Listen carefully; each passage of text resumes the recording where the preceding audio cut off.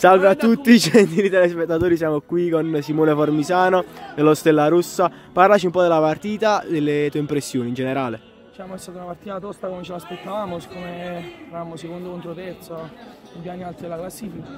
Ce la siamo un po' complicata da solo il primo tempo, un po' il freddo, un po' qualche disattenzione, però fortunatamente è andata bene, va bene così. Fase difensiva, cosa ne pensi della vostra fase difensiva? Diciamo potevamo fare meglio come ho spiegato, però la fortuna nostra è che giochiamo insieme da una vita, quindi pure nelle difficoltà riusciamo a uscire fuori. Ora siamo ai playoff e daremo il meglio di noi, faremo al massimo insomma. Grazie mille, in bocca al lupo.